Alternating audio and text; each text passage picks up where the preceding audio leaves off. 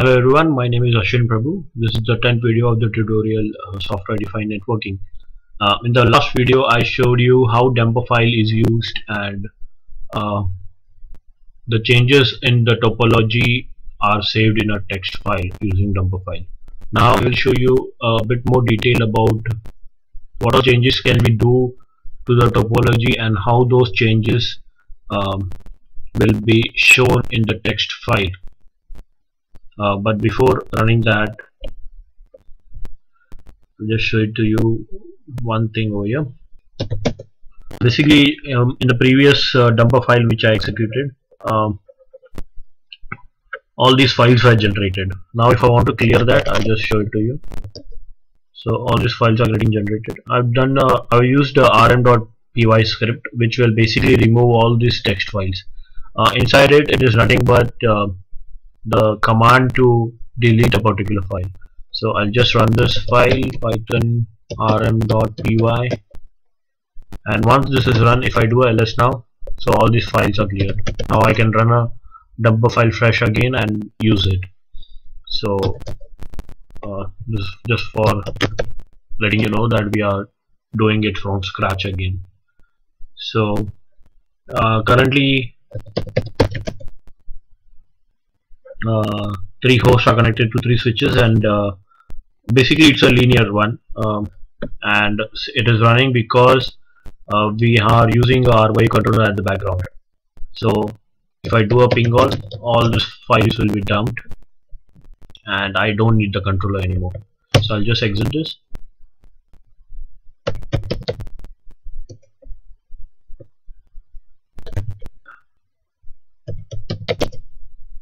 so once I exit this I'll run the dumper file again which will generate those files.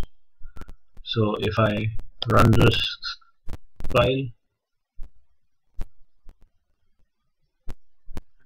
so it will carry catch all those topology details uh, and it will show it to you over here as I showed it in the last video right? So these are all the link details which get entered. So if any particular link goes down for example just show it to you. Oh sorry links. So there's a link between h1 s1 h2 s2 so if you want to bring a particular link down there's a command for that in Mininet. I uh, we spoke about that earlier. So it's link h1 s1 down.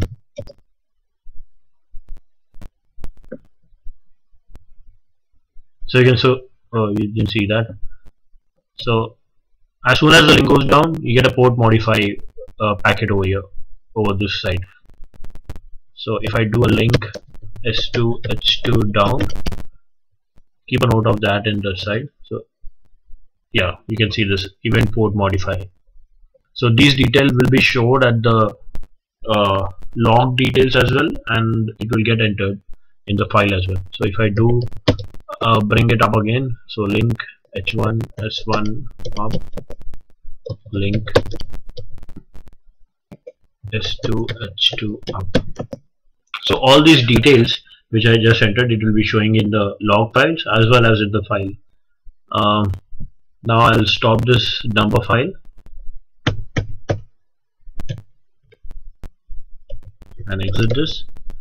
Since we have captured all those details which needed I'll exit the dumper file now if I do ls command all these files will be there again. So nano link add.txt it will show all these details about the link. Uh, the host which is connecting to switches the host switches uh, connecting to other switches and the switches which are getting connected to each other all these will be detailed here.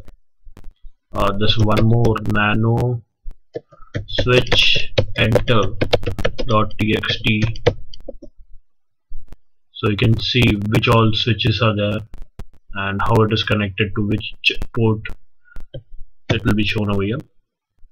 And the port modified which I have done over here for these four uh, it will be shown in the port modify text.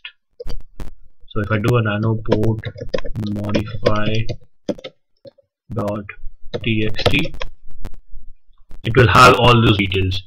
So it will show which link went down and which link came up again. So it will be there in the file. So the very important thing to understand from here is that if you do any topology changes if you want to see how the topology works the dumper file is very important in making us understand. So once we have got all those details in our text file we can use that text file for further computation. Uh, so that will be explained in the next uh, video. Uh, that's all for now. Uh, I think we have discussed a lot about uh, dumper files already in, it has been three videos.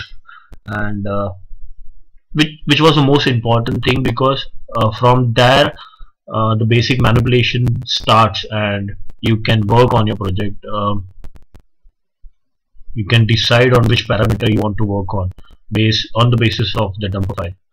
Uh, it took us a while to understand this. Um, I hope uh, you will uh, get useful information from this and uh, it will help you in your project or your work. Thank you so much for listening.